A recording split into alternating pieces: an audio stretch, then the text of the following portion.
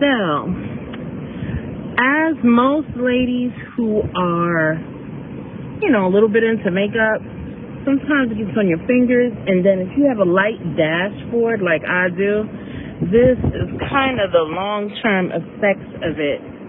And um yeah, this looks kind of you. And oh yeah, let's not let's not mention this part of it.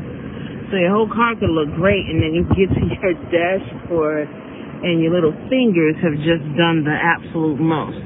So I'll be using ceramic all star surface coating. TriboCeramics.com. I'm using Ven- Venom's version. So I'll come back to you and show you what it looks like now. Remember, I'm I'm doing this right now, so it's going to take me some elapsed time to come back, and then I'll show you what it looks like afterwards. Oh my gosh. I am in shock. Now, let me tell you, I've tried all kinds of anti makeup remover.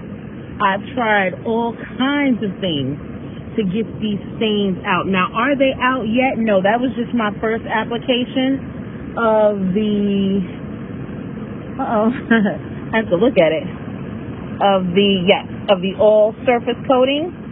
This is triboceramics.com and Venom is one of the major sponsors, so I am definitely going to keep this around.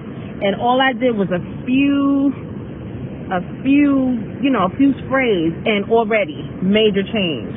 Now I'm not done. I'm gonna hit the bottom some more, let it soak for about five minutes or so. Hit over here again, and you know the eye starts to see more things. So, but let me tell you, that is a complete 360 from what it used to be. So I'm I'm already a fan. They got me sold.